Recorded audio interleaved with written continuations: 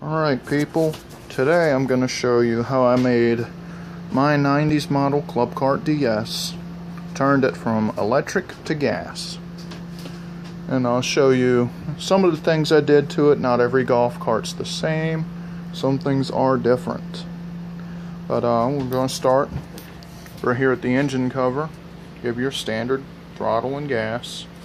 Standard steering, seating arrangements a little bit redneck because I don't want to spend the money on the proper stuff. But the whole cart itself is a bare frame chassis, you know, with the plastics and all, for a hundred bucks. And then what I've put into it is roughly about 200 something. So I've got a fully functional golf cart for 300 bucks. And it pulls trailer, it does anything, does 16 miles an hour, it does everything I need it. But first thing we come to, the silver switch here. That's on, that's off. That kills the motor. And back on again. So right now, you could pull the handle and it would start. Take the cover off. We'll go in here, you have custom uh, throttle linkage. This is your original one. This would have gone to the electric linkage that would have controlled how much power you sent to the motor itself. I made this little rinky-dink thing out of some stuff, just random stuff, going to throttle cable.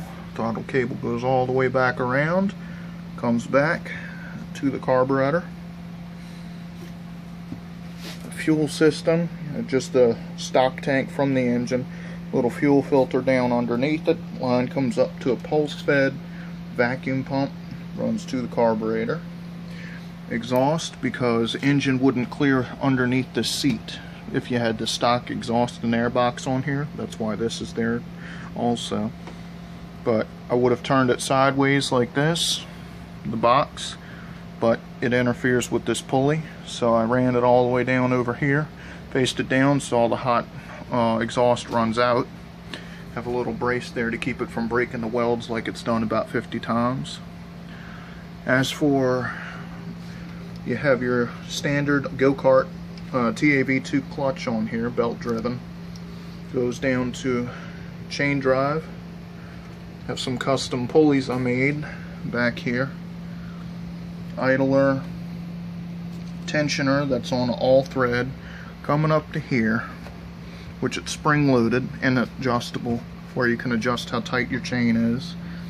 Right now I have a little bit of slack in it, just not much. You don't want it to come off the sprockets when you're doing 16. It gets pretty ugly. Then I have what this is going on back here is that's the original input shaft for the electric motor.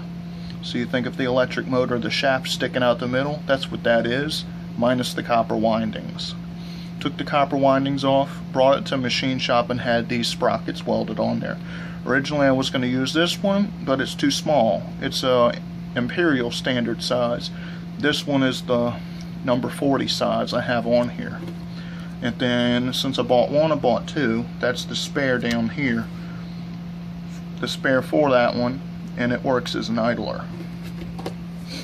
Now for how I attached it to the cart, you look down here, you can see the stock aluminum frame, and then I bolted on the steel one that I made welded up together and I just bolted it on there with an engine plate. Same deal on, well, can't see it too well. Same deal on the back, just bolted it too. And that's basically it. It's pretty simple once you get to it. I did have to notch the frame a little bit to clear for the motor. Let's see if I can get a good close-up on that. Go down here, the motor, I had to notch out a good bit of frame but I notched as little as possible. And you still have the frame on the other side and then all this battery racks and all of that. And then that's that. She'll do about 16. She runs real well. They'll even give you a little test